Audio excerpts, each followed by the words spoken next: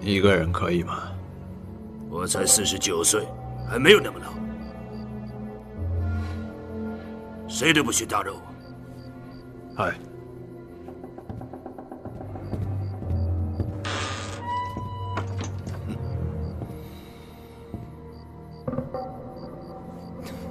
二位律师，你们应该很清楚你们自己的处境。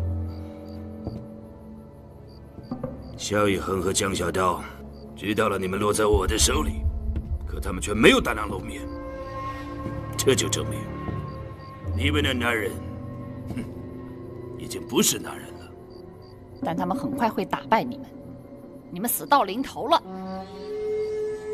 从整个战局而言，打败我们的应该是美国人，你们中国人只是还没有死光。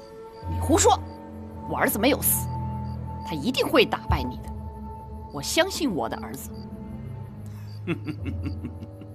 我也相信，只是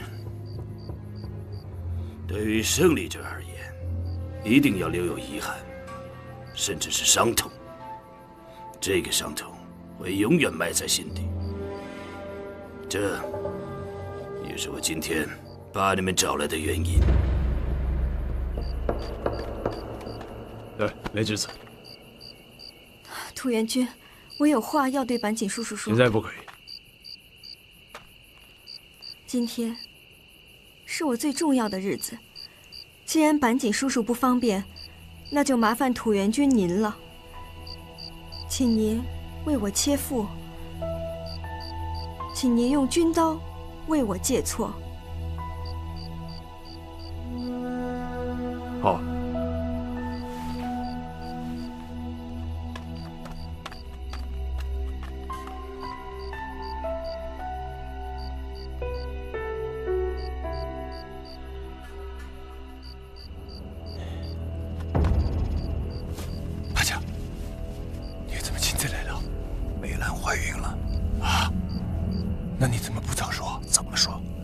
让大家担心他们。找到他们在哪儿了吗？找到了，杜月刚刚把阿妹和你阿妈带到那个房子里面。我们可以沿着右侧过去，那个房子作为掩体，但问题是左侧四十五度角看到了吗？有两个哨兵。你们两个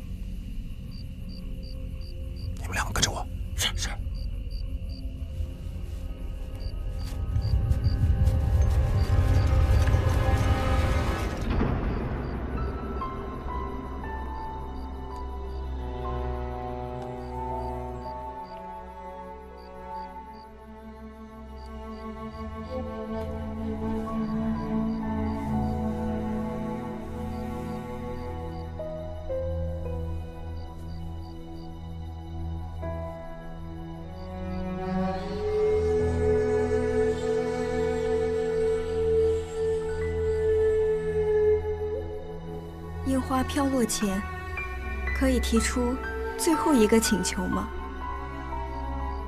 你说。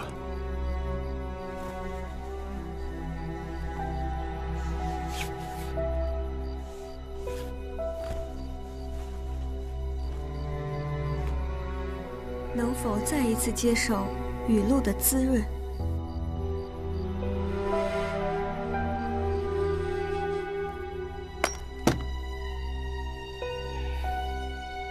我就满足你最后的请求。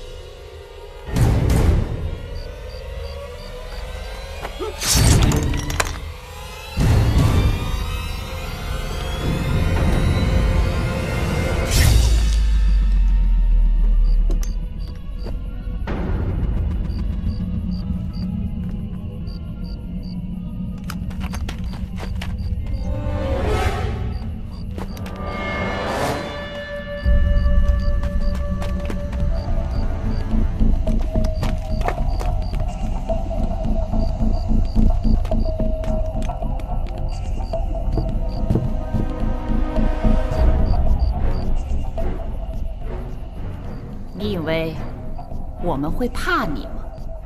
那你就太小看我们昭通女人了。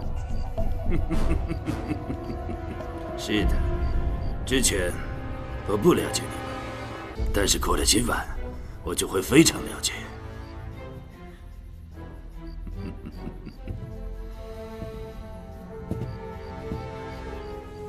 拿开你的脏手！住手！你们日本人老老小小，个个都是流氓混蛋。随你怎么说。总之，今天晚上你们两个都是我的。休想！你先不要着急，我先好好照顾你的儿媳。闪开！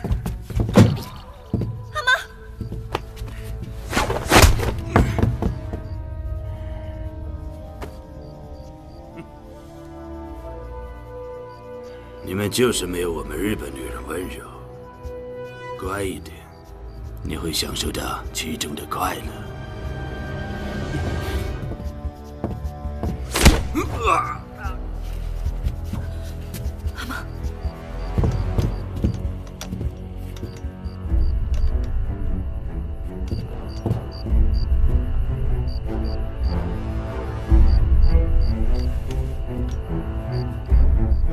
们生不如死。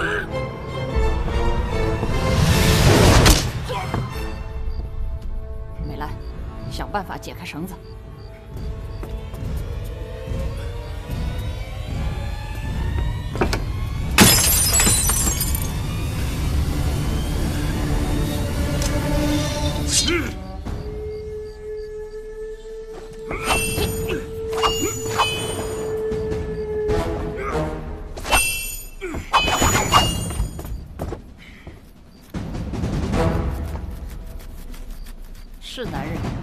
就放开我，咱们一对一。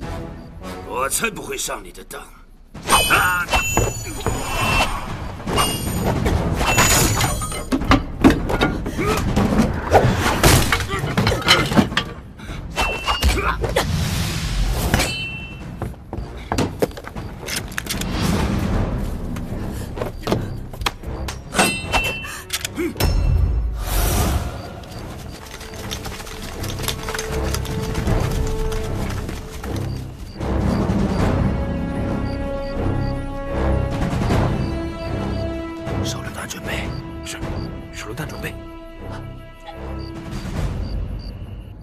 把它放下！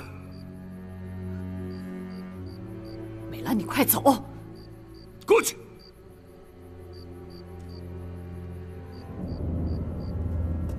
你别过来，你快走！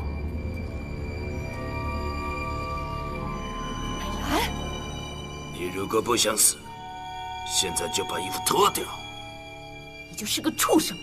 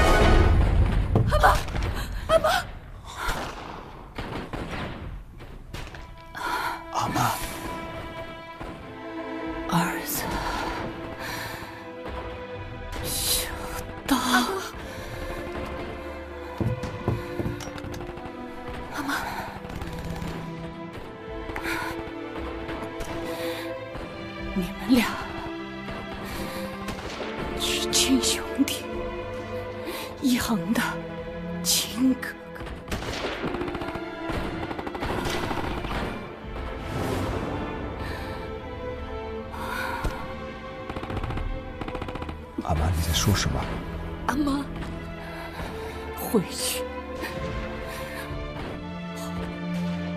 回去问江北风，就等着你。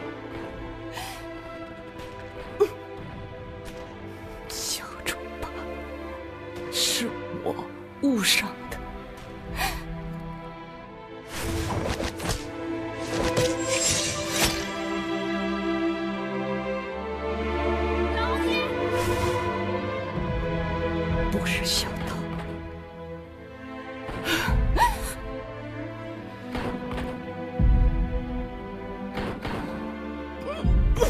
妈妈，你不要说话了，有什么话我们回家说。我在这